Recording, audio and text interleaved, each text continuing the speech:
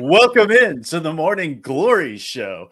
I hope you guys are excited for another episode because the Tennessee Titans are back at home this week as they come off the bye in that first one of the season in Miami on Monday night, and they take on the Indianapolis Colts, who are get, coming off a huge loss last week, giving the Jacksonville Jaguars their first win of the season. So it's going to be real fun. This is the bad of the bad at this point in time in the NFL. We're talking AFC South. But if you guys are joining us for the first time, do us a favor. If you're on YouTube, hit that like button, hit that subscribe button. It enters you in to win that Tyjae Spears signed jersey giveaway, giving that away at the thousand subscriber mark. So we're just around the corner there. And then as as, as always, check out the the Morning Glory Show merch down below as well. We got the cups, we got the shirts. Go check it out. But joined by my co-hosts, as always, B Will at B Will TFTV and at TFTV Sports. How you doing today, B Will? I'm good, man. I think we should uh there should be a law against air horns before eight o'clock in the morning. Especially when they're when they're getting streamlined through to my ears. Right. Yeah, they're a little least, louder than I thought it was going to be. At least we upgraded. It's been Jake doing it. Jake's been doing it from his mouth for months, so uh, I'm, I'm, happy with the. Upgrade. We're finally in the 20, 21st century, but he didn't tell us he was going to do it. nope, nope. Give you a great Kirk Cousins. You like that? But yeah, I, I, threw that in there right before the show started, and uh, yeah, we're, we're we're off the fly here already. But uh, if you guys are checking us out in the comments, like Chef Rand, Big Dog's gotta eat. Make That's sure right. you drop those score predictions down below as well. We're going to be talking about that at the end of the show, talking all the AFC South, predicting those three big games. But on my other side, joined always by Jonathan Miller at Esports Valen. How you doing today, Jonathan? Good, man. Good. Got some got some awesome news yesterday that uh the main man, the host here, Jake, is going to be a daddy, man. That is Congrats. exciting. Congratulations. Yep. T- team girl dad. To, man, that's so exciting, bro. This is your first one, right? This is my first one. Oh. We've been ex- we, are super excited. Uh, me and my wife, we got married. Uh, yesterday was actually our two year wedding anniversary. We've been together for ten years at this point, so it was a little late on the gun to for the proposal, but uh, she did, she was definitely there to remind me. And just a little like little bit about me. Uh, me and my wife, we've been trying for quite a while now, and we actually were told like, "Hey, you you've got to do additional testing. Uh, this mm-hmm. probably isn't going to happen naturally. We're going to probably have to go the IVF route." And literally, like two weeks later, got the test back positive. So we're super excited. God is good awesome, all the time. Man. Love it. Appreciate Congratulations. It, Congrats, bro. Appreciate it. Appreciate Let's get some baby emojis, some some prayer hands in the in the yeah. chat. Let's go. Let's go. Some baby emojis. let's talk some Titans today. And uh, first injury report of the week just dropped last night. And it, it, it's a big one because this game could really go a multitude of ways, specifically with the quarterback position. We know Anthony Richardson listed as limited yesterday. I think Anthony Richardson probably does get the start after missing last week. And man, this, this guy is on the brittle bones committee leading that charge as of right now. Uh, right up there with Kyle Phillips. The dude has started five games, already two major injuries, but that may have not even been the biggest report to come out we see Josh Downs and Michael Pittman listed as did not participate. Michael Pittman actually went on IR right after this dropped, which is huge for this secondary. And the Josh Downs dealing with the toe injuries as well. This might be a matchup where the Tennessee Titans are looking at AD Mitchell and Alec Pierce as their leading receivers out there. If that is the case, who are you putting L'Jarius Sneed on, B Will? Who who is he shadowing? Well, they don't have a one. Yeah, I, it's got to be Alec Pierce. I remember what he did to Amani Hooker last year. I mean, it's it's got to be Alec Pierce. But how long was it before Amani caught a stray? Seven ten. Okay, just checking. well, I just I remember I remember what happened. You know, late in the game last year. But is I'm seriously, I think it's gonna. He's gonna probably I don't know, man. I, I would say Alec Pierce, but then again, I don't think he would follow any of these guys. None of these guys deserve to be followed. I hate to say it. And maybe AD Mitchell, I'd say, is the most talented receiver out of that bunch. Downs is in the slot. We're not gonna have we're not gonna have Sneed in the slot. I think McCreary can take care of that. Um, so I don't see I don't see with him really traveling anywhere. He might play to the wide side of the field. Who knows? You know, I think it's a really open things up and let Sneed him himself travel, not with signing anybody, and that's going to allow this defense to be even more predictable. Be able to bring Sneed and have him in the box a little more. I mean, you, sky's the limit. A week like this is when a guy like Dennard Wilson is is just chapping his lips. He's ready to go because he doesn't have to worry and game plan for a true number one receiver like we fa- have to face in the first couple of games of the year. We've had a number one we've had to navigate with every single week so far. And this is the first week where we really want to do that. So this defense could really shine. I'm talking, I'm talking four or five sacks shine. You know, I, I think it'd be that good of a performance just because of the receiving options or the lack of that Indianapolis is going to have. But if it's AR, it might be a fun game. But then again, you know, with Flacco, Flacco's not going to have any room to, to navigate out of the pocket, so it could be even better with him. But it's going to be interesting to see. I don't think he travels with anybody because I don't think anybody's worth traveling with. Agreed. Yeah, that's exactly what I was going to say. I don't think similar to week one against the Bears, they'll probably be in more of those like zone kind of like setup defense where you're doing sim pressures and you just and honestly you kind of have more flexibility in that way too. You can kind of watch and see you know what they're giving you. But yeah I, I agree. I think the the titans this is a very favorable defensive matchup for the titans going against this weak colts offense. Um, they're also missing one of their starting guards. I forget his name off the top of my head but he's not playing also deforest buckner still on ir um, DeForest Buckner has been historically great against the Titans.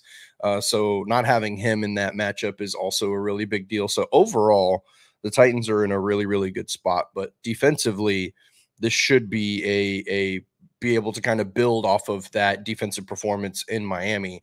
This should be another one of those games. And we should be stoked that Anthony Richardson is playing because it looks like he's probably going to be playing. Hmm. Um, and if he is, then even better.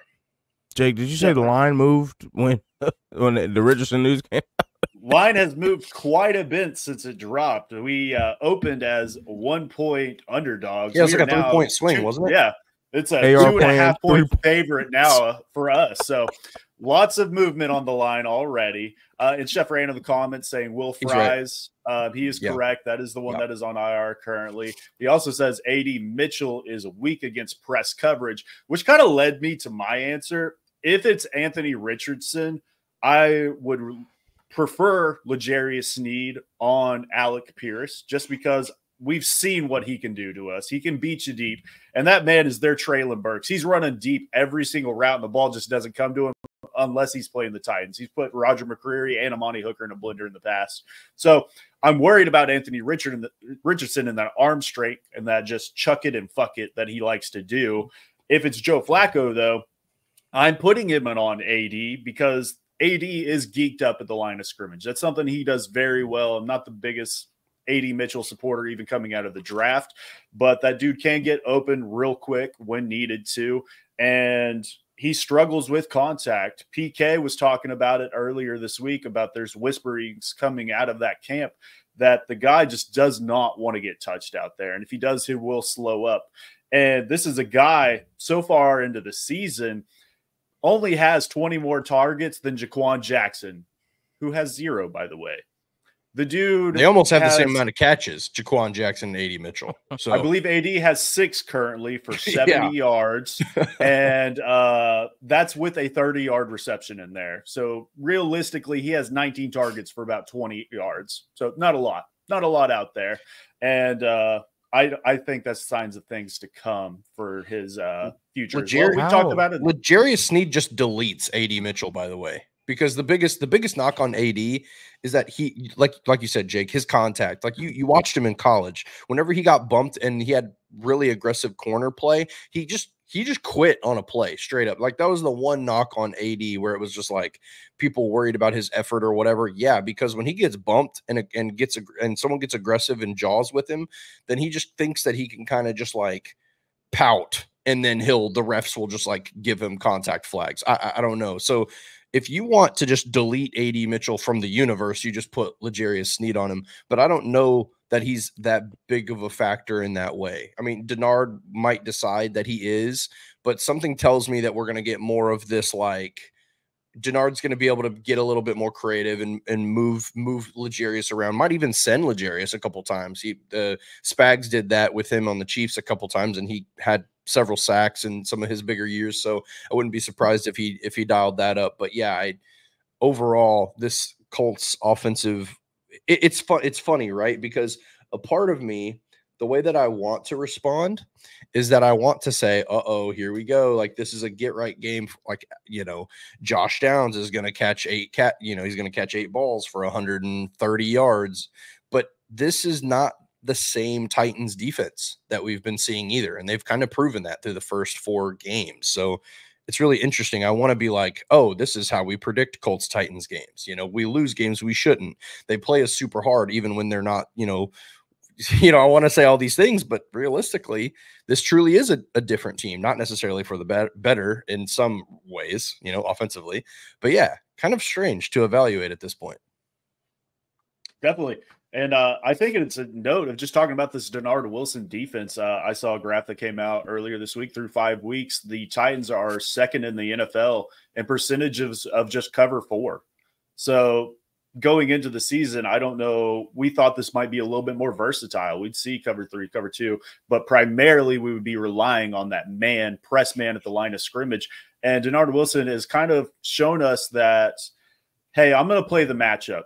And we talked about it. We're probably going to be very blitz heavy. It hasn't been that to that point, but at the same time, we're not facing these premier quarterbacks early into the season. And it's more so, hey, let's bend, not break let's allow these offenses to mess up their own drives. And that's kind of what we've seen thus far, which is why they're number one in the NFL in yards allowed per game at this point in time. So I think Dennard Wilson has just proven time and time again of what a stud he is out there and probably how he won't be here for very long.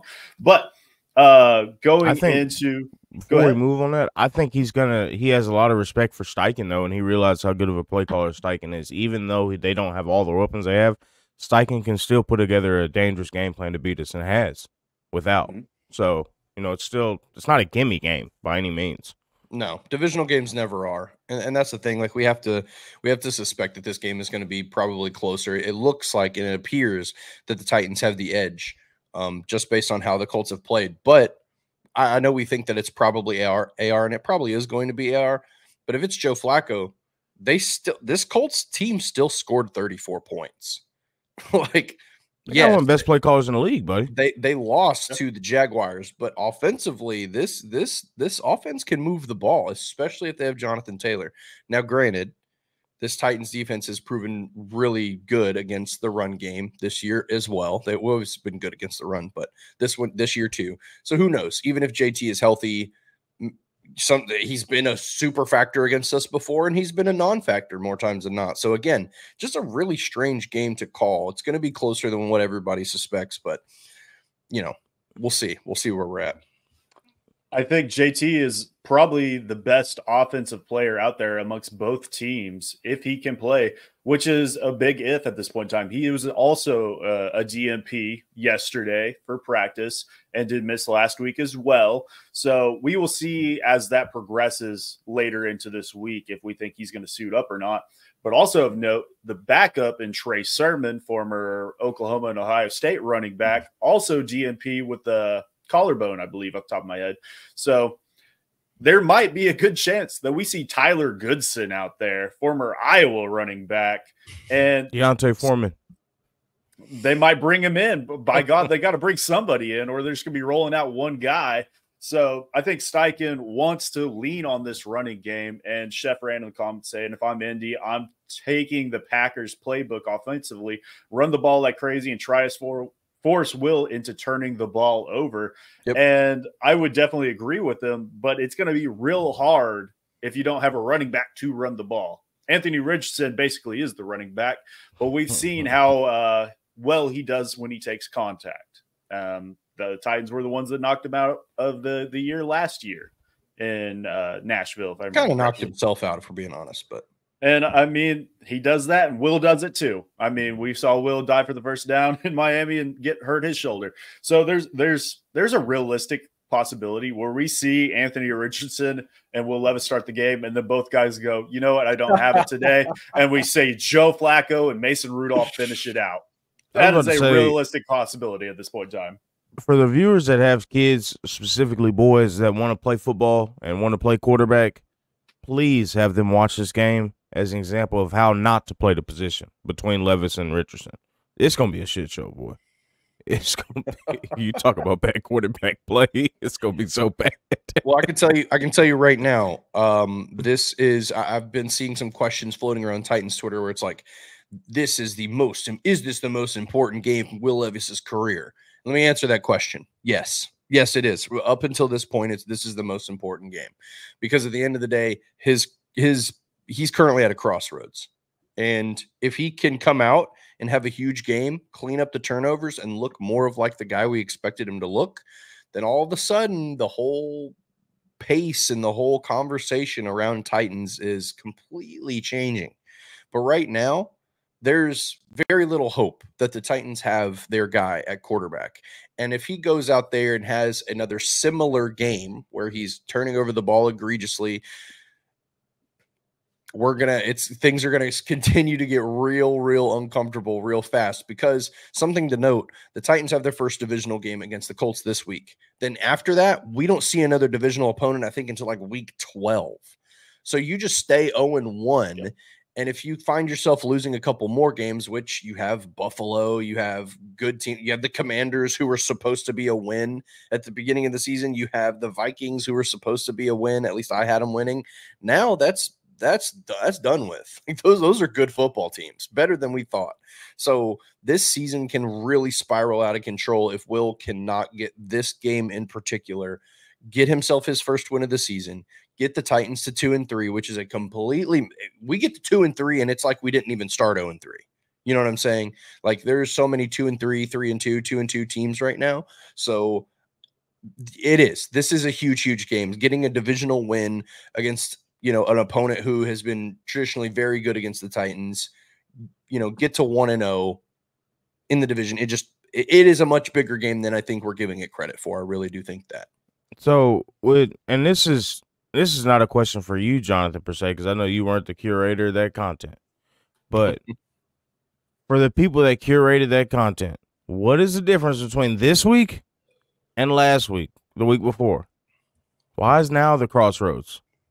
Is it just we're doing for clicks, or is it are we having trying to have a serious conversation about Will Levis? It's just which one th- is it? I think it's the clicks conversation, right? Like at the end of the day, you you every week seems to be the biggest week and the most important week, and it's going to be the same thing. But but where I will say I'm buying into it a little bit is just because of where we are with Will Levis. I don't think that the Colts game is a must win for the Tennessee Titans necessarily. I think it feels like a must win for Will Levis because of how because of where he's at, right? Like Mason Rudolph comes in in relief and and wins a game on Monday night. Granted, it was a poor offensive, a poor football team right now in the Miami Dolphins, but it's still a win on Monday night, right? Like he got it done, which says like okay, if you don't muck this up, then this team is good enough to win close ball games.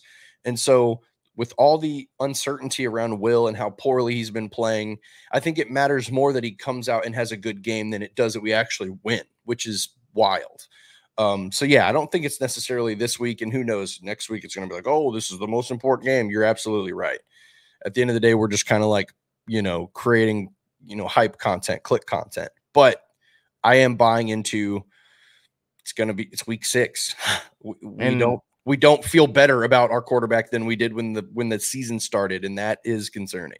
To ease Levis for him to ease the concerns, he doesn't have to be good.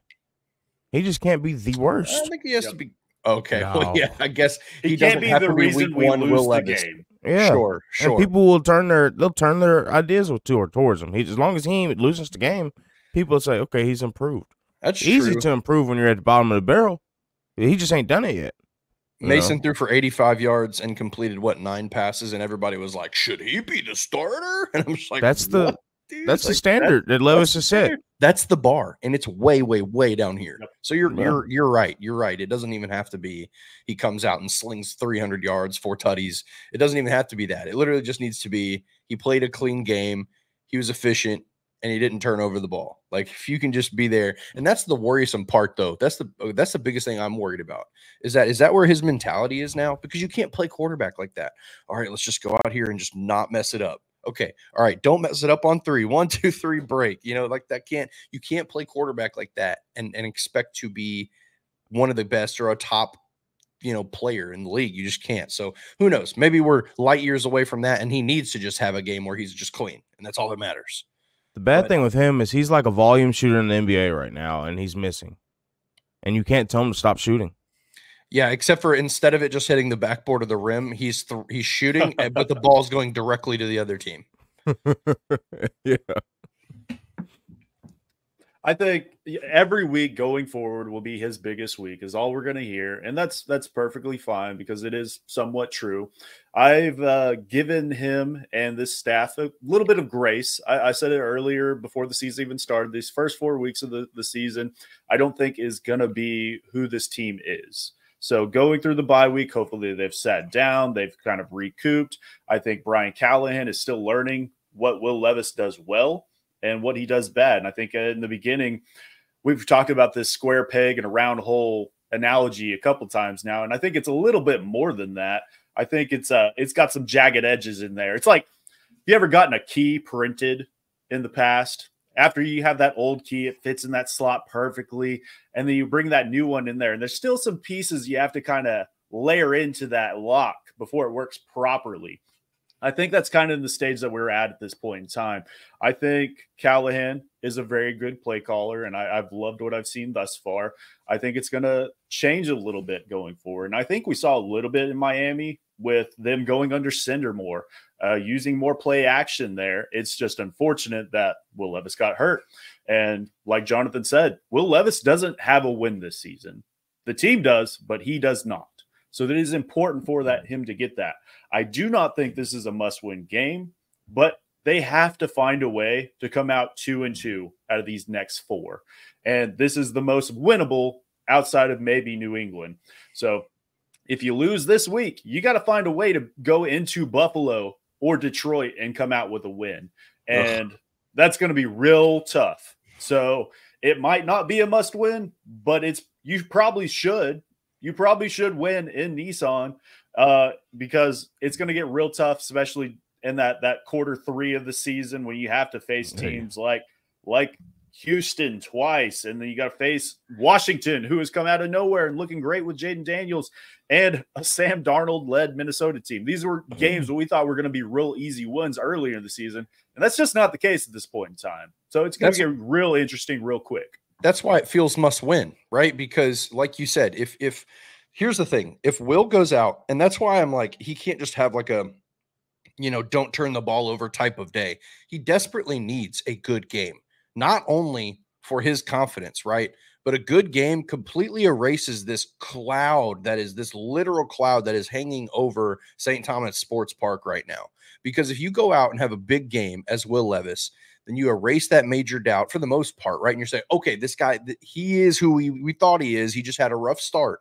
Then all of a sudden, the confidence of he his confidence raises, the confidence in his teammates raises, the demeanor, the, the chokehold of a demeanor that that B Will has been screaming about for the first four weeks, that starts to drift away and go away. And now all of a sudden, the firepower that this team has added this offseason, all of a sudden, the Titans look like they can compete with anyone. And they desperately, desperately need that mental advantage going into this back stretch because the stretch of games that was supposed to be the easier part of your schedule is no longer the easy part of the schedule because of how well those teams are playing. So that's why this game is so critically important and why it's massive for Will. Because if he sputters here in a very, very winnable game, a very winnable divisional game, then the, you kind of this this cloud that's been looming over him stays and potentially it gets thicker. And you can't have that going into you know the the sixth game of the season for the Titans. And yeah, I mean that's where I'm at. That's why I think this one is so important. And I think it's of note that this is a beat up secondary for the Colts. They're missing Juju Brents, their number one cornerback out there. I mean, Calvin Ridley and DeAndre Hopkins and Tyler Boyd, they're going to be open out there. It's as Will can find them. And that's going to be the biggest thing. We've got to see Will get that deep ball put together. We've very rarely seen it this season, and it's something that he does very well. This is a opportunity for you to take advantage of that. I want to see four to five deep shots in this game. If they work or not, I want to see them out there because that's when Will gets in his rhythm. Just like when Atlanta last year, we saw that first one to DeAndre Hopkins, and then we were off to the races. He got that confidence up there. And we've talked about how high variance he is, and it's solely based off his confidence on the field. We've seen him come in there dressed down, head down, and he plays awful every single time. But if he is confident, he's screaming on the sideline, that's when that dude is playing well. So, man, the guy's a front runner. I can't even, God, dog, man. Just thinking about it and seeing it. Oh my gosh. And the thing is, is, you know, we're getting to the point where if he doesn't improve, this team's going to be made detrimental. We're going to have to trade Hopkins. You know, it's, it's just, uh, you know, that's the, that's the part that really irritates me. And it's not really anything that, you know, we, it's the team itself or the GM or the head coach can even control. This falls on one guy's shoulders. You know, and it, it just that's the thing. Are y'all confident that that we'll see that version of him this week? I'm a little more confident than I normally am, but I I'll say that. I'll say this. I think this will be the most cohesive on offense that we've seen to date under this new staff. I think they will put it together. I don't think it'll be perfect by golly, it's not going to be fucking perfect. There's still going to be a turnover out there because Will will do what Will does, but I think he will have his best game of the season. It's not saying a lot, but I think they will put points on the board. I don't know if they'll get 30 again, but I still think it'll look better than what it looked like in Miami. I don't think we're going to come away with five field goal in this game. They're going to they're going to score in the red zone, I think. Yeah, I think my my body language says that I'm not super confident. And that's just because we haven't seen it yet. But what I am confident in is the stance that I had at the beginning of the season, the stance I had at the end of last season. And that's I saw enough from Will last year in a deep evaluation to know that he is absolutely, he can be the guy. I don't think that he's going to be in the mental gutter for the this entire time. And I do think he's going to hit a spark and something's going to change pretty drastically, right? That's what I do think. I don't know if that happens that quickly as this Sunday, right? I hope it is. I hope that's the the difference, you know, that we see. But overall, I think he is able to put it together, and I think he is going to end up being the guy. I just don't know if that's going to happen this fast. My thing is, we just saw Jacksonville put up what thirty some points on this Colts defense. If he can't do it this week, he ain't gonna be able to do it. He's got to do it. That's the only reason I'm confident in it. because the defense is not very. they haven't shown. You know, they've given up some points this year. Defense so, is bad. They're one of the worst in the league statistically. They're one of the worst in the league. So if he cannot do it this week, I don't know what I'm gonna say next week, man. I'm gonna no, I'm gonna just come back and pull a U-turn and defend him and say he's our guy and see if that changes things. it's really going to be dependent, I think, a lot on this offensive line because the Colts they do have a okay pass rush, primarily in the interior. Obviously, they're missing a big piece there, but a guy like Grover Stewart, who's going to line up head on head with Lloyd Cushenberry, it's going to be a little bit of a, a, pain for him. And then they got Kwity Paye on the outside. If he is on a Kwity NPF or Kwity Paye is athletic. He might not be all technically there, but I loved him coming out of the draft. I was hoping the Titans drafted him he just hasn't lived up to expectation, and some of the injury bugs have played off of that. But he can definitely he can definitely keep up with NPF. Or maybe we haven't even talked about it. Leroy Jenkins, Leroy Watson might be out there as well. He's taking first think, snaps this two weeks. I think there's a good chance that Leroy plays. Maybe not so start. too. Maybe not start, but I think there's a good chance he plays. I think he plays a lot of snaps pretty early. I, I, think it just doesn't have it in them. And then we get to see a Latu Latu versus um, Latham on the opposite side, which is going to be super fun to watch. Two first round picks of this year, two rookies that have had good seasons thus far. That's going to be really exciting. So can this line do what they need to do? Can they get the job done? Pass pro, I think we we got to see an uptick there. But this is a offensive line that we rely on for the running game. And they are not doing their job there either. There was a graphic that I think 33rd team posted yesterday that Tony Pollard is like tied for third in the league in yards after contact. It's just very unfortunate that he averages negative yards before contact. Dude gets hit uh-huh. in the backfield every single play, and that is, Wait, is that, that Tony Pollard legitimate. Yes, Pollard, Pollard. Yeah, yeah, yeah, yeah. Yeah, that's that's a really that's an eye popping stat. This poor guy is averaging third most yards after contact. Problem is, he's getting contacted in the backfield a lot, legitimately so, yeah. every play. And Wild. I feel bad for him because he came from he's not used to this. No, he played behind a great offensive line in yeah. offensive line in Dallas, so he didn't have to worry about this. That's okay. So, that's, that's why his hairline's going back. He he he grew up in Memphis. He it's look, it's the gutter on this offensive line. Uh, so yeah, I, I for me on the offensive side of the ball, especially in regards to the offensive line, I mean, who knows? This might be a game where NPF gets to play the entire game and and he only gives up a pressure or two.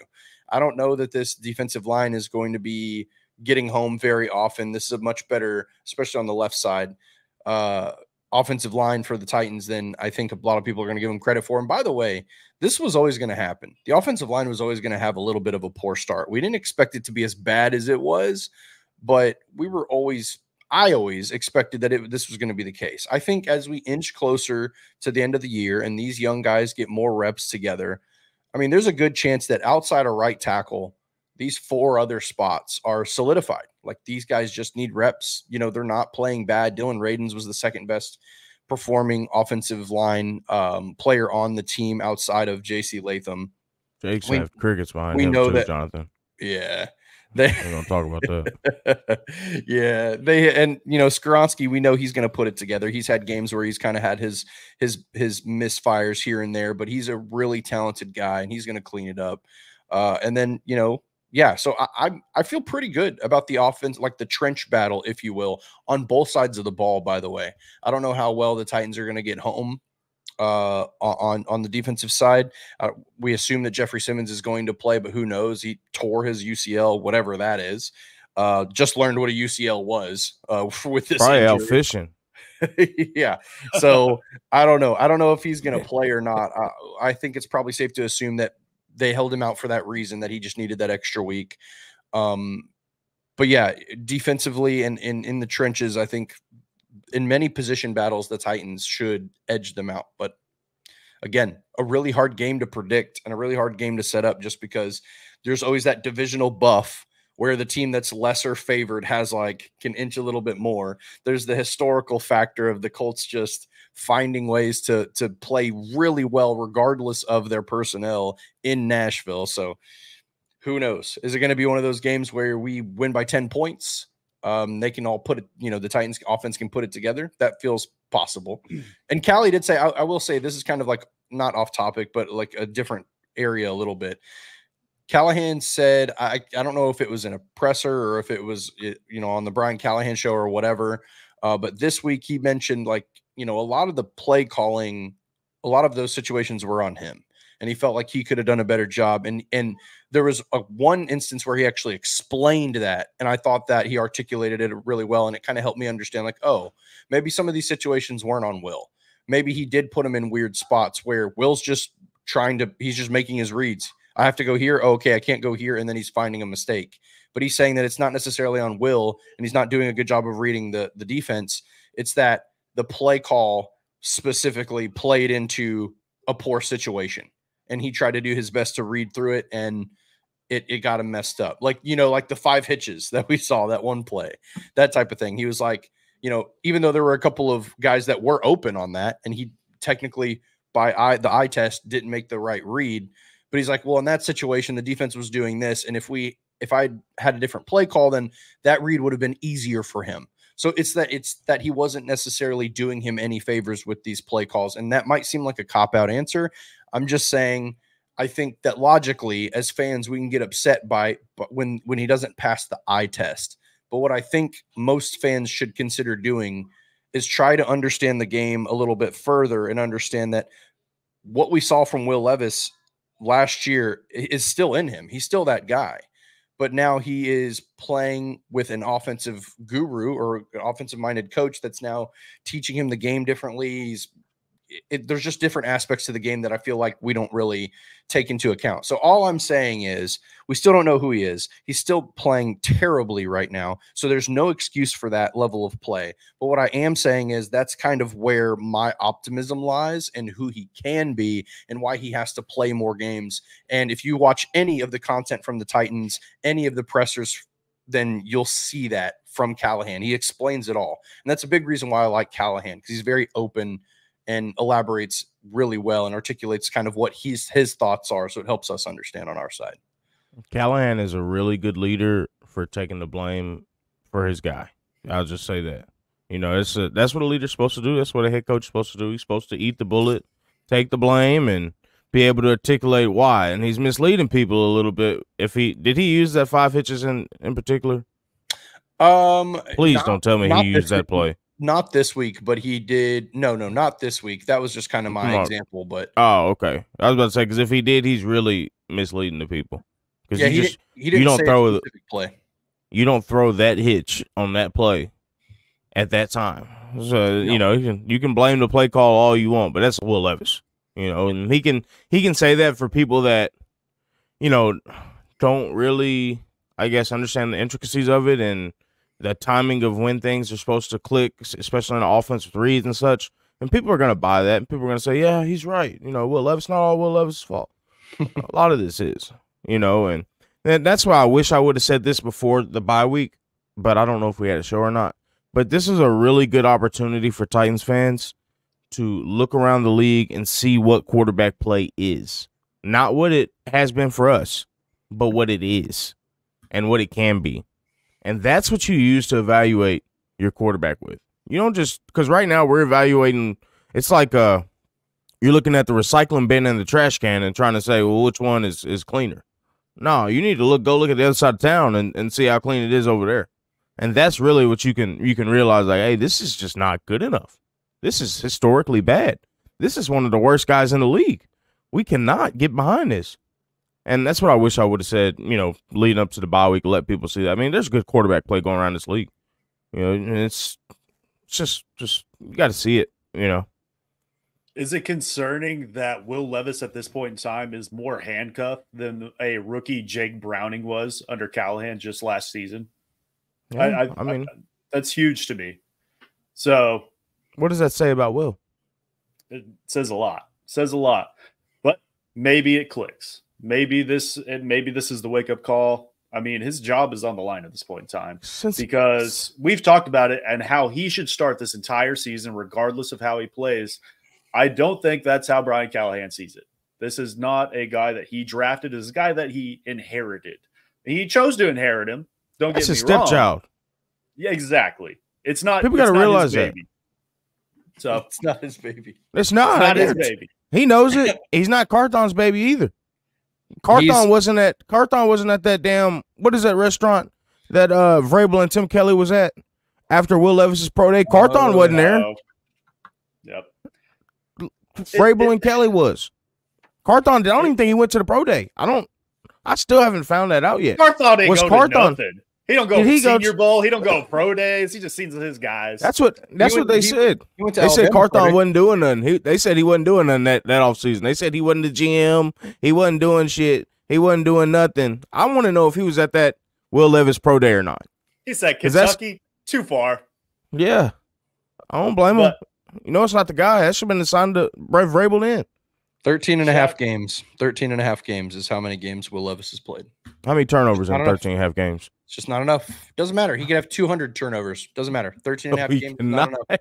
yes, it not is. Enough. Plenty. 13 is plenty. Nope. We don't know who he is. Who's we? Josh we Allen threw 17 picks his rookie year. How many touchdowns? More than Will Levis. Three or something like that. 24. Will Levis ain't, ain't close to 20. He's not even close to 10. The point I'm trying to make is that great quarterbacks aren't great out of college most of the time. Agreed. if you if you give them proper resources and give them a good environment, then you can find out if they are who they are. And we, I'm saying that we don't know that yet. I'm going to keep saying that until probably like week 10 ish. If it goes this, point, if it goes the same as the first three weeks for the next three or four weeks, then yeah, I'm gonna throw my, I'm gonna, I'm gonna toss my flag up, and we'll be, and I'll probably be done. But until then, I just need we, we, he needs more time, bro. I, I promise you, one of two things is going to happen. We're going to get to like week, you know, uh, eight, nine, ten, and then it's going to be like, uh oh, well, I mean, hey, you, gave him a chance. You did everything you could. You set him Agreed. up for success. You bring an offensive coach. You improve the line. You improve the weapons. You improve the defense. You improve everything around him, and he's still not the like. Then you can't. It's like okay, let's go get our guy. I, I have no problem with that. I'm not trying to be a Will Levis apologist, but I am trying to relay to the world, or at least the some odd people that are watching us, that truly you cannot expect him to come in in the first 13 games of action in his career and for him to be the guy. You can, however, expect for him to not be an absolute tornado disaster turnover machine. And that's what he is right now. So, uh, everything, all the criticism he's getting is completely warranted. I'm just trying to make the argument that I don't think that's who he is. That's all. Thanks, MB. Yep. You're one of four people. We gotta see. The, we gotta see the glimpses, man. It, it, that's the thing. We have to see improvement, and we've seen a very slow progression for him. He has gotten better almost every single week to this point in time, but it's so incremental that it's still bad. You have to you have to at some point in time take that next step forward and at least be average. You got to be the reason that this team can rely on you. We just got to because if not, we're gonna find anybody else. Gotta hey, stop that, the bleeding, right? Like I totally get it. Hey, the, the kid has got a reading test on Friday. We've been trying to teach him how to read since Monday. It's Thursday, and he's still on the first sentence. He ain't gonna pass that test. You're talking we about reading. Seen... We're trying to get this kid potty trained. He's still shitting his pants out there. Hey man, I'm just saying. It's just that's where we're at. This guy ain't even got to Miss Levis. Even... Yeah, yeah, he did it again. yeah, basically. He's doing that yeah. out on the field. Yeah. Right in front of us. Mom, I threw up. All over himself. He does it every week. I froed up again. but I, I seriously though, I mean, it's that's why it's so important. if you can, watch quarterbacks from around the league and see how the game is played around the league. That's all I'll say. Yeah, uh, shout out, shout out to everybody in the comments. Join, join people like Chef Ran, who, uh, what did he say? Something about confidence. Uh, there's so many comments today, guys. I appreciate Chef, it. Chef uh, Ran might be Titans content, like the Titans. He is on every single show, bro. He is on every, every single show. He does not miss a single show from anyone, not just ours. Confidence is earned. Uh, confidence is earned in him as well.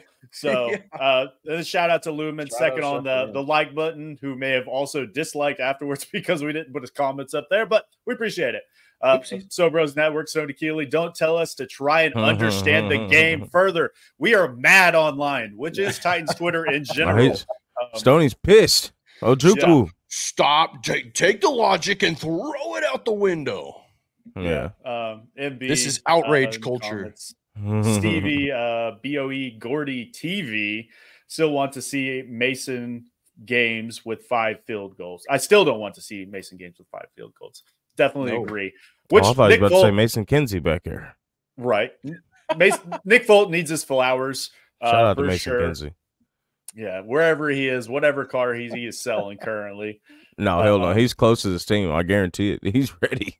We'll see him again this year. Oh Lord, he doesn't go away. Unfortunate. it's unfortunate. He is eternal. He is Mason and Kinsey. How about how about so let's have some positive Titans talk. All right. How about Titans Hall of Fame, ring Hall of Fame, future Hall of Famer, Titans Hall of Famer, not NFL Hall of Famer, Titans Hall of Famer. Nick Westbrook-Ikhine getting the the recognition he deserves throughout this year and earning it and just still sticking around and being the guy. Dude, what are y'all's thoughts on that? He does seem underutilized, doesn't he? This is where we that's, wanted that's the conversation. though. that's you wanted him we say we do not five. need to use him more, and now the coach is saying we've got to use Westbrook-Ikhine more. Look, Calvin not getting it done. DeAndre Hopkins, future Hall of Famer, who's he? Tyler Boyd wasn't the guy. Somebody get NWI in the game. All right, that's the that's the missing piece here. That's why we're not to, moving the ball. He said we've got to get NWI involved more. well, I don't even think we talked about it last week. As soon as oh, Mason Rudolph came into the game, he just unlocked Treylon Burks. Treylon Burks got like the first pass from Mason Kinsey, which uh, I, I found hilarious. But I mean, that's I that know, second. I don't know if we need to see connection. it more in WI. Yeah, that's it. Is what it is. But we've talked a lot about this front seven versus their front seven. Let's go ahead and flip to the other side because this pass rush, this this front six plus Arden Key is very good. So I think we've seen Jeffrey Simmons miss the last uh, the Miami game, and that was T'Vondre Sweat's coming out party. Best game by far. And as of right now, T'Vondre Sweat, number four ranked interior defensive lineman as of all of PFF. So T'Vondre Sweat is definitely showing out at this point in time. Um, so what do you guys, how do they combat a offensive line that is actually very good. Uh, obviously, they're missing that right guard, but they still got Quenton Nelson out there. We'll see Jeffrey Simmons and Devon, or we'll see T'Vondre Sweat against uh, Quenton Nelson for the very first time, which is going to be a, a, huge matchup for years to come. We're all mm-hmm. anticipating. How do they get this done and provide pressure? Because I don't think we're going to see a lot of blitzing in this game again. I think we're going to see a lot of mush rush out there, especially if it's Anthony Richardson. The question is, how does Quenton Nelson block Jeffrey Simmons and T'Vondre Sweat at the same time? Hmm. Let's see. That's going to be an interesting matchup. Um, Ryan Kelly, who's that? Their their center, right? That brother's about to get pushed into the atmosphere. I, I don't know. I think he I, hasn't been practicing either. T'Vondre Sweat is exactly who we thought he was. I had him in my mock draft to the Titans for a reason. I'm taking my victory lap on Twitter right now. Like I'm literally just like streaking down Broadway in excitement because T'Vondre is the guy who we, we said he was going to be. You know what I'm saying? Like every time it's like, well, the knock in on him is this, or the knock in is that he's not going to play many snaps. It's like he is destroying every expectation that anybody has had for him and had his best game of the season. He's only going to get better. And by the way, he had this best game of the season without Jeffrey Simmons what are we talking about? What are we talking about? so when these two guys are healthy, like as the we talked about the offensive line improving over time, watch this interior defensive line improve as the games go by. And I don't know. I mean, yeah, the interior offensive line for the Colts is traditionally very good. Well, they're missing one of their starters. And Ryan Kelly has been put in a blender by the Titans and Jeffrey Simmons many times. So you throw T'Vondre Sweat in that mix, and you know, hopefully Arden Key can build off of the Miami game, get some pressure on the edge, and these guys can get to work. But we we also saw against in the Miami game, Dennard got really creative with those sim pressures and and got to the edge and had some guys like you know Jarvis Brownlee's really aggressive and fast and really good in the run game most of the time. And he did a good job setting the edge. Roger McCreary, we've seen him do it effectively many times as well. L'Jarius Sneed, also very capable. So I'm really interested to kind of see how this offensive scheme for the Colts goes against that because really that's the conversation. It's like, what are they going to do to the Titans defense, not the other way around? Because I think Dennard is going to be set up in a really good spot for that reason.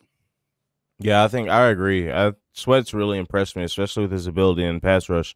Uh, that was a you know a knock I had against him coming out. That could he do it consistently and affect the passer consistently, and he's proven to do that. You know, and that that's been amazing. You know, he's been a really great pick at 38 so far you know, and you know, I'm really excited to see the future between him and Jeff, especially if he continues to trend in the same direction that he's trending. It's going to be a really, really disgusting defense if we could add a good edge guy. I don't, I haven't even looked at who's in the, you know, coming out free agency at edge. I doubt it's going to be anybody amazing, but you know, this this defense needs a little bit of edge help, and it could be a really, really scary defense.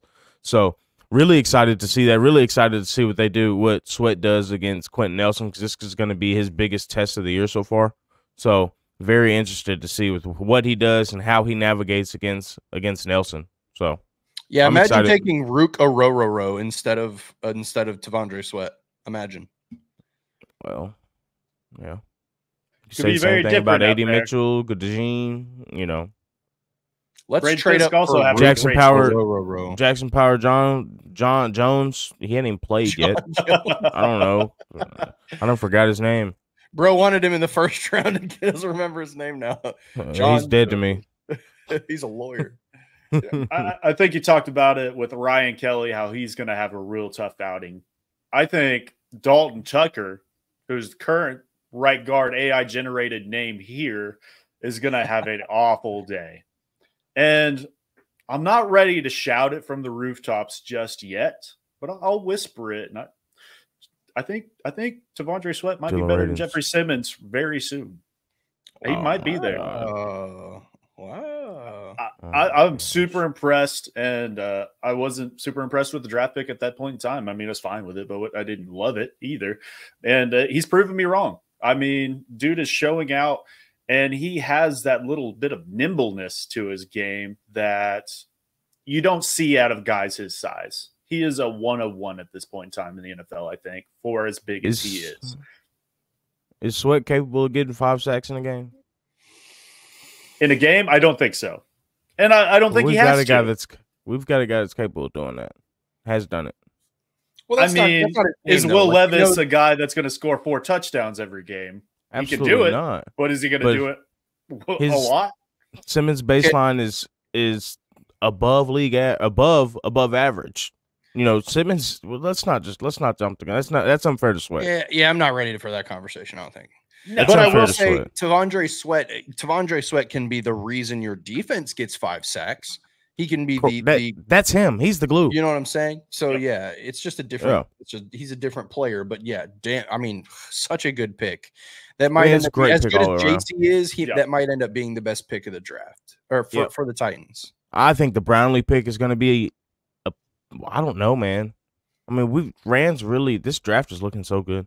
It's yeah. Uh, shout out to I mean we got Cedric Gray coming off IR as well. Didn't play well. Who at any yeah, exactly. Hasn't played well at any point in time through minicamp or training camp, and then went down with the shoulder injury. Full participant as of yesterday, so he's set to come back from IR. Maybe not this week, probably next week. He's got his 21 day window open, so maybe that's a guy that we can see progress down the line as well, and at least offer something on special teams. Maybe he can come as a rotational player for Kenneth Murray and Ernest Jones. Ernest Jones also on the injury report, still limited though this week. But let's go ahead. We need to get out of here, so let's hop into these picks for the week week. And as always, we're predicting AFC South matchups. B Will, the all ball knower at first, currently at 12 and 5, me at 10 and hold, 7. Hold on, my headphone and, went out. What was that? Uh, uh what? Um, and then we got Jonathan Miller uh at eight and nine currently, Mr. The unball knower. Uh, but uh, we got three great matchups this week Texans at Patriots, Houston favored by seven, Jaguars, Bears, Chicago favored by two and a half. And then Tennessee, this has been changing. We were one point favorites at that point in time when I made this graphic yesterday. We are now two and a half point favorites. So it is definitely moving our direction. But let's go ahead and start with the probably the easiest matchup of the week Texans at Patriots. Drake Maye getting his first start of the season. Houston coming off a big win against Buffalo. B Will, who do you have in this game? Before we get to this game, I, I just want to say y'all see the record. Y'all might want to start parlaying my picks every week and sending me a dividend. I, I'm giving y'all, I didn't give y'all 12 wins this year. But for this game, Houston versus New England, I am going to say for my Super Bowl favorites outside of Kansas City beating New England, and I think it's not going to be close. I think it's going to be double digits. Like I would, if I was, if this was like, if this segment is betting with B Will, I would say Houston would alternate spread over ten points. That's how bad I think this can get because uh, Drake Maye starting it's not the person you want to start against. DeMeco Ryans and Derek Stingley and Will Anderson and you know Azeez also Azeez and you know these that's not the guy those aren't the guys you want to play against. And I might add is Denico coming back this week? I sound you know I think it's I, I think it's four game suspension. Was it a four game suspension? If it was Denico's so. back. So oh, yeah, this yeah. defense is getting filthy. And the offense is able to. They finally found a way to run the ball. So I think Houston by double digits. What about you, Jonathan? Uh, yeah, I think I think you hit the nail on the head. This is not the game that Drake Maye needs to be starting for the Patriots. Um, I think that Drake he'll probably come out and and there's going to be a spark. Everybody knows that in the NFL, if you change quarterbacks, regardless of the opponent, there's always this like magical buff that's applied to the team that has this new quarterback, regardless of who they are just like Mason Rudolph got the got the magical buff. But yeah, I, I, this is this Texans team is very good. Obviously, they played a very grindy game last week against Buffalo. That turned out well for them. Um, but yeah, I I would take the points at at this. I mean, I I'm with. I don't know if it's double digits, but the Patriots are not a very good football team with Jacoby. Who knows? Maybe they get that little buff with Drake Maye, but I think it's still going to be the Texans. Hey, I think I'm glad you real quick, John Jake. I'm sorry, but I had to I had to say this, Jonathan. I'm glad you brought up that game against Buffalo. Osama bin McDermott should have been fired for what he did last week. I'm just I'm just saying. I don't know if y'all seen what he did last week, but it was terrible. It was egregious. It was really bad. They fumbled that. I'll, I'll say I think Jonathan or Josh Allen, one of the best quarterbacks in the league. I think the Bills are pretty fraudulent at this point in time. So I almost don't view that game as huge as it was. They've had two um, weird games. Yeah. I mean, you blow out games. the Jacksonville Jaguars 41 10. Awesome. Cool. They're the worst team in football at this point in time. Not not Agreed. huge. Um, but yeah, I mean, Houston, I think, is very good. I think they're number one in the AFC South for by a pretty wide margin at this point in time. But at the same time, we were talking about it before the show. I don't I don't know if they're a Super Bowl contender at this point in time. There's also just not a lot in the FC South at the top. Also, Nico Collins to IR. That matters. Nico's been looking oh, like one of the best. He's looked look like a top three receiver in football. Yep. You know, like yeah. Nico has been fantastic. 15, like literally 15 plus targets a game for CJ. So you take that away, Tank Dell is a really good receiver. He's been underutilized, but he's not Nico Collins. Nico is winning. Nico is a absolute gladiator of a of a specimen of an athlete. He's massive. So you take that out of the offense. Stefon Diggs is not necessarily that body type either. So a big missing piece for the for the Houston offense. But regardless, they're still going to be able to run the ball effectively. They're getting That's great play from the offensive them. line. And CJ Stroud is still CJ Stroud. He's still going to find a way to distribute the ball. So I'm not too concerned, but I do think it's noteworthy. Yeah. Yeah. yeah. So I, am in agreement. I, I have Houston as well. So we're, we're all three in agreement there, which leads us into Jacksonville at Chicago. Chicago favored by two and a half. Caleb Williams coming off uh, I think the, his best game of his young career. And wow. Jacksonville on top of the Colts last week, just like in the graphic right here. Uh, Jacksonville, I still think they're probably the worst team in the AFC South, even with the win over over the Colts. I I just don't see it. And Trevor Lawrence, thank God they paid that man because I love him in that uniform. And the throwbacks, hey, shout out the throwbacks looked good. I don't I don't I don't hate the Jags. I don't I don't it's not the mustard yellow green color rush that they've used the in the past. Thank God. So I liked him.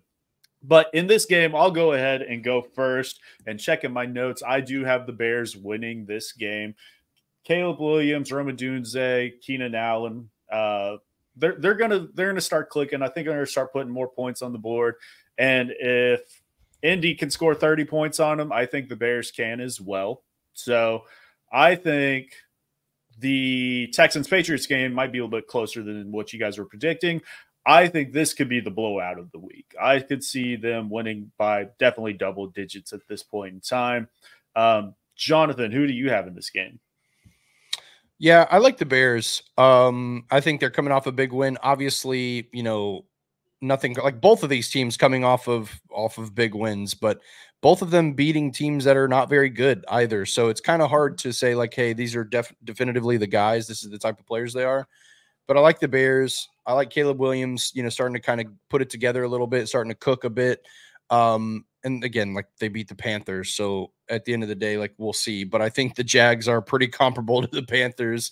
So for me, it's going to be the Bears, and I think it's by a larger margin than two and a half points. Yeah, I think the I think it's going to be Bears. I don't know if it's going to be by double digits or anything, but I think they could beat them by a touchdown. You know, in yeah. in Chicago. So Chicago's going to be rocking. They got a lot of optimism up there because they won a game or two. So you know, it's going to be interesting to see how Caleb responds to it. Does he get the hero complex like he's possible to get and think he needs to go around and you know run around like Mahomes and you know we'll see. But I think it's I think they could beat him by a touchdown. Yep, and D'Andre Swift putting it on as well. The last two weeks, he's looked very good, and yep. we, we, he did not look like that against us. So we'll, we'll say that.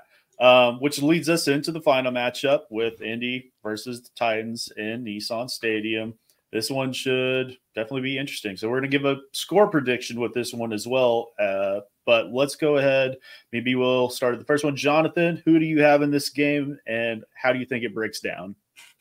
Uh, you know, my eight and nine record is beat. You might as well just put like a Titans logo over my face and put a, a red clown nose on it because I am 0 4 predicting the Titans this season. I had them in the first three games, and then against Miami, I said, you know what? You're not going to get me again. And sure enough, they win the game. So at this point, clearly, I don't know anything about Titans football, so I'm just going to throw stuff at the wall until it sticks. Uh, I'm going to go with the Titans scoring 27 points in a win against the Colts. I think the Colts, this is ridiculous. I think the Colts score 17 points. I think they probably score more than 20, but I'm going to go with 17 because why not? 27 to 17, the Titans get the win. I like it. What about you, B. Will? Yeah, Mr. Optimism. I say I'm, I'm, ready for you to say it. I mean, the Titans are going to win. It's just like, how do you? I think the Titans it? are going to win too. Yeah, I just don't think it. I think it's going to be 27, Probably 22 teams. Points. I think it's going to be 27, 22 teams. I think it'll be Titans like 16, 10. That's what I think. 16, 10. I almost yeah. went that direction. I did, but I think after the bye, what's the line at? Does anybody know? Does anybody comments on what the line's at? What's what's the points? Really quick. 32 and a half. Probably. Over it, has got to be total 40, 43 right? and a half. 43 hey, and a half. There you go. 43 and a half. Wow. Interesting. So pound the under. Didn't expect that. Yeah. Yeah, I say 16 10 Titans. So what I say. Maybe 16 13, 16 10. Well, I think they'll squeeze a touchdown like, somehow. It's looking like week one out here in these predictions because all three of us agree on every single matchup, and we whoa, all are picking whoa. the Titans. All so, right. I have them the winning 24 13. And Pittman okay. was a big part of it. I think they will, like I, I, said it earlier, I think this is the most cohesive offense that we will see to date out of this team. I don't think they score 30, but I think it looks good. And I think they score touchdowns.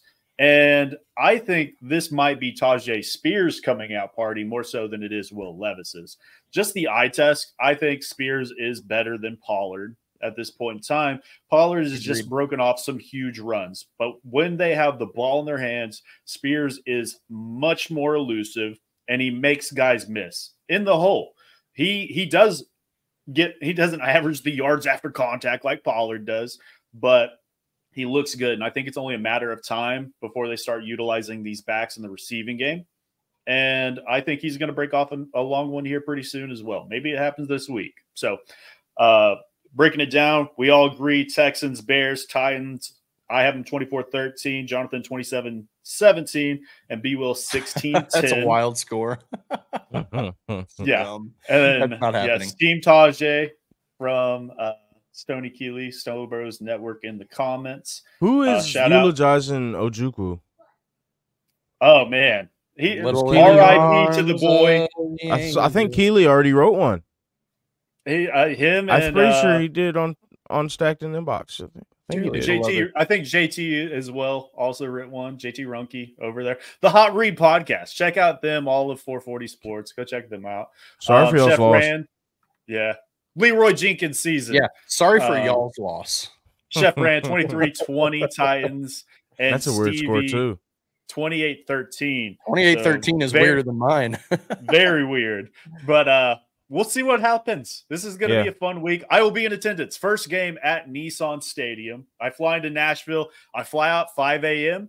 I get back to Oklahoma at midnight. So it's going to be a long day, and I'm hoping it is a good day. But yep. if you guys are checking wait, it out down wait, where are you sitting there? Where, where are you sitting? I am on the 50 yard line. I don't remember the. I, am pretty close. I got some good tickets I bought yesterday. A buddy of mine hit me up. A buddy of mine hit me up. His brother is not available to go. They have season tickets. They're on the south end zone, four four rows up, like row, oh, man. 120 row D. And I am fighting demons. Like, man, I got to make that. I have a card show this weekend in Nashville, all 3 uh-huh. days. So, mm. uh, might have to make it yeah. happen. Yeah. If you guys are fans of the show, shoot me a DM. We'll, we'll meet up. I'll be looking for tailgates and stuff while I'm down there. Come come shout out your boy. But this has been the Morning Glory Show. We appreciate you guys, and we will check you guys after the game, if not on Thursday. Peace.